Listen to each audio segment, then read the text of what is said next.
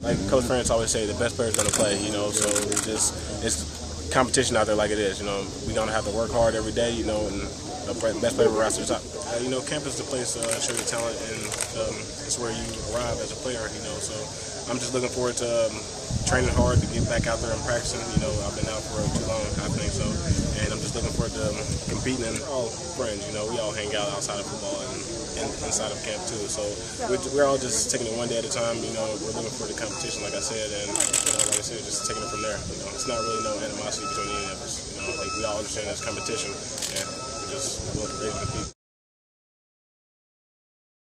Uh, it definitely was hard to sit because it's like the most time I've ever spent out outside of not playing football, and yeah. uh, you know I'm very hungry right now. So, like I said, we're going to get into this camp, and uh, I'm just going to compete, um, compete very hard, you know, and hopefully I can get back on the field. Like I said I've been out of the game for a long time, and uh, you know I'm looking forward to getting back, hitting the ground running.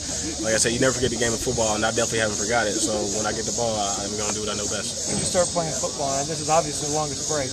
Oh yeah, I, yeah, Pop Warner. I started playing football at like four or five. So yeah, is that's the longest I've ever been out. I was gonna say life seemed kind of strange when exactly. there's not a Saturday to get psyched up for. Yeah, it's kind of weird. I'm not gonna lie to you. yeah. How'd you kill the time?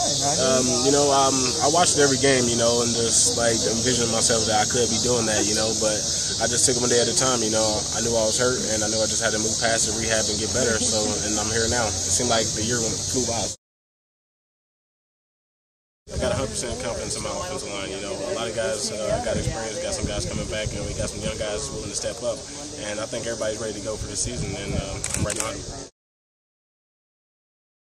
Well, we're never complacent. You know, we're always looking forward to get better. You know, we lost two games last year, so we're looking to improve on those two games. Even the games that we did win, we're still looking to improve. Every game we're trying to improve. So, you know, as a team, uh, we're coming together. You know, like I said, we don't want to be complacent, and we're looking to improve.